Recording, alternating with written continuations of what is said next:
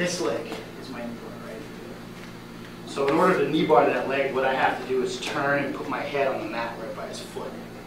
This leg has to stay on the inside. I don't want it out here anymore. I need it to be in the middle.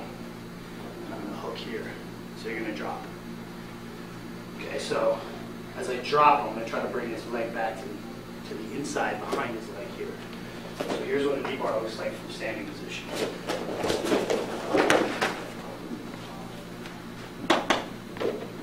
Sense? So here's what I'm doing, guys. You're like this. You're like this, I'm turning, dropping, kicking this position.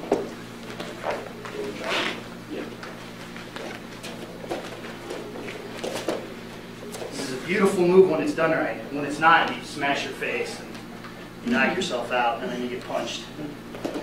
I'm in here, I'm gonna turn. My head's gotta go over here, direction. This leg's gonna go up, and this leg's gonna hook.